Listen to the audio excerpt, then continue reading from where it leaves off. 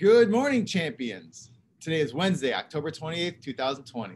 Please stand, face the flag for the Pledge of Allegiance. I pledge allegiance to the flag of the United States of America and to the republic which it stands, one nation, under God, indivisible, with liberty and justice for all.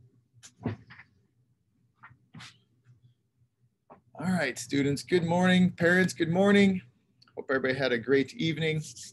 So NWEA testing is basically wrapped up at this point.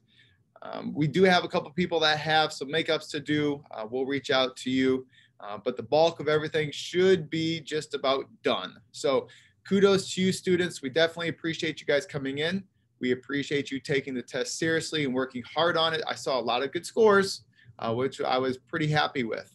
Uh, so what do we do with all this data? Um, we take it all, we put every student's individual name on the magnet, we put your score in that magnet, and we start breaking this up. So we have the entire school so that we know who is at what level and who needs what support. Uh, so that's students, that's what we do with this data. We will take this test again um, after Christmas and again before the end of the year. So be looking forward to that. Uh, also, eighth graders, don't forget, we do have to bring you in for the PSATs. Uh, that's in about two weeks or so. We will use a very similar situation to the way we did here. Bus riders in the morning, car riders in the afternoon. Uh, so eighth graders, be aware of that. So what do we have today? Let's see here. Just a couple reminder, life is going back to normal with the Google Meets. Remember that expectation be on time to class, be in the class the entire time. Make sure we're doing our work. I went through a lot of these grade books with, with the teachers, students, and it's pretty evident as I'm going through assignment by assignment. If you're doing the work, grades are good. If you're not doing the work, grades are bad. It's really that easy, students. Help us out, get your work done. If you have questions, ask. Uh, we're going to put a couple wrinkles in here, students, to support you here coming end of this week into next week.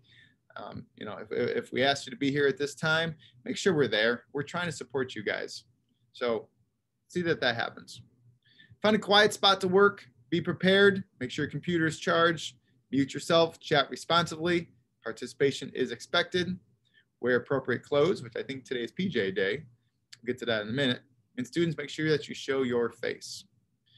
Got a couple champion moments. Uh, Trinity Hunter and Gabriel Holman help students with their do now. Thank you very much. And this one, uh, it's a little longer, but it's a good one. Um, thank you all for helping me with technology, training, listening, encouragement, and support. And the teachers that helped, so our teachers to get to in a second, is Miss Brown, Mr. Byerly, Miss Cuevas, Mr. Curry, Miss Dance, Mr. Dillon, Miss Estrada, Miss Flores, Miss Goodman, Miss Gusman, Miss Hogan, Miss Kay, Miss Brotho Miss Selesky, Mr. Vondrak, Miss Lark, Miss McKnight, Mr. Smith, and myself. Um, and you have all inspired me to be a great teacher in some way. Never would have made it this far without you. Um, so a champion moment to all those people from Mrs. Daniels. So Mrs. Daniel, thank you very much for that.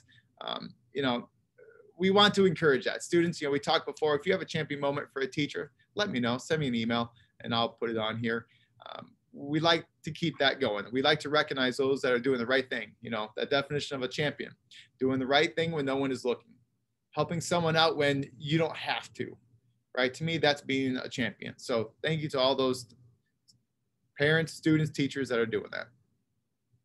Remember, our goal this month is learning's up to you. Meet your teacher's expectations, challenge yourself to succeed, manage your time, ask for help, and believe in yourself. Here it is been working on this, this agency rubric, right? This is 20% of your grade, students. Agency is 20% of your grade. So it is important that you are able to reach these goals. On Monday, we talked about using effort and practice to grow.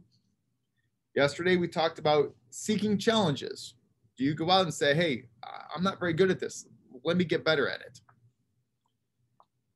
Today, growing from setbacks. Okay, I'm gonna try not to, to ramble on because I got a lot to say about this one. Growing from setbacks. And those of you that haven't heard, there's four levels of this, right? The emerging, developing, proficient, and advanced. Advanced is the highest level, obviously, emerging is the lowest. I always like to read the proficient. That's where we want you guys to be. Identifies challenges or failures and describes reactions to them. For example, gives up or tries harder. You know, I'm just going to set that down for a second because eh, teachers, students in life, we're going to fail and we're going to succeed. You know, and this one here, growing from setbacks. Do you see failure as something that you can't recover from? Failure is just it's a tiny setback, but you have to grow from it. You you can't be stuck in that. We are all going to fail. I fail as a principal. It happens. But you have to be able to grow from that failure. That is what makes you a champion.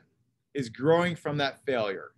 All right, so that's the agency tip here that we have. Growing from setbacks, having that growth mindset. We use that also. All right, so that's your tip for today. And Wednesday, which is today, today is PJ Day. I'll make sure it's school appropriate. Uh, the first robotics meeting will be Thursday from 3.15 to 4.15. Um, and that is in person. That is in room 107. All right, contact Ms. Phelan if you have any questions. Uh, so be aware of that. That's just kind of like, you know, an athletic event or anything else. Um, so robotics, Ms. Phelan's 315 to 415 on this Thursday. And just a reminder the assignments are due Friday. Students, a reminder that you can dress up for Halloween on Friday. Um, that is a e-learning day. So you will have advisory and we'll check in fourth and seventh period with you. Uh, we know this is Red Ribbon Week. That's why we have the PJ Day today. Also remember, in honor of Red Ribbon Week, if you have a poster, those posters are due to the office by Friday so we can judge them and give out some certificates, um, some gift cards to kids. So we're excited about that. National Junior Honor Society, please make sure you look at the page for new updates.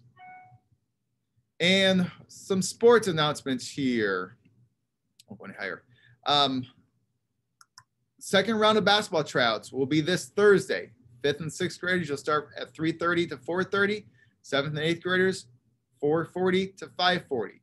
And remember, those students coming in for practice, I need you guys here at 3.30, not 3 o'clock. Uh, we are starting to have people show up earlier and earlier. Um, there's no one, the coaches aren't here yet, so make sure we're here at 3.30, okay? Uh, cheerleadings, your second round of tryouts will be on Tuesday, which was yesterday, and today, which is Wednesday, uh, from 4 to 5.30. Make sure all these athletes try out, you have to have a physical on file. Okay, that is important. Also, remember that your Explore class should be linked into your Echo page. If it's not showing up there, let your advisory teacher know. Advisory teachers, take a second out today. Make sure all kids have their Explore class. And if they don't, um, email Mr. Smith, Ms. McKnight, and myself, and we will figure out where they are supposed to be. All right. I, I miss you guys. It was really good to see everyone over um, NWEA testing. It was really good to see you guys. So stay safe. If you need anything from me, let me know. Our mission statement at Lake Ridge is changing learning, changing lives, inspiring lifelong possibilities. Have a great day.